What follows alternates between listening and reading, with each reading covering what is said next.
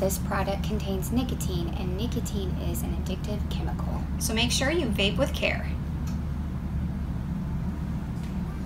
Hey guys, thanks for joining us today. I'm Felicius. And I'm BJ. And today we're going to be doing a review on the raw milk line. So me and BJ here have been flavor sampling this for about a week and we've tried all three flavors and we've stuck to one flavor for a whole week to see how the flavors last up.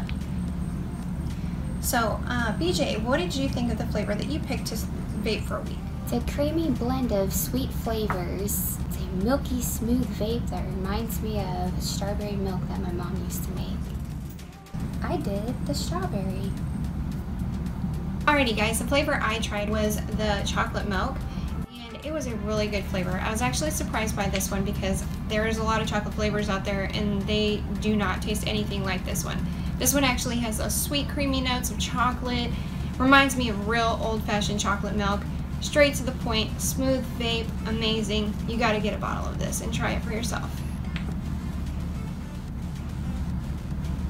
Alrighty guys, the next flavor that we're to be trying is the strawberry chocolate swirl. How do you feel the chocolate and strawberry melted together?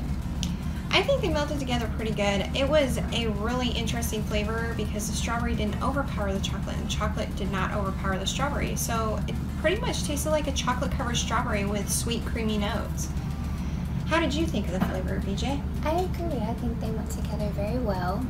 Uh, it tasted like a strawberry dipped in chocolate. Alrighty guys, thank you for checking out our video today on the review of the raw milk line. Don't forget that you can subscribe to our page and like our page. We're also going to be doing a giveaway in which we reach 250 subscribers.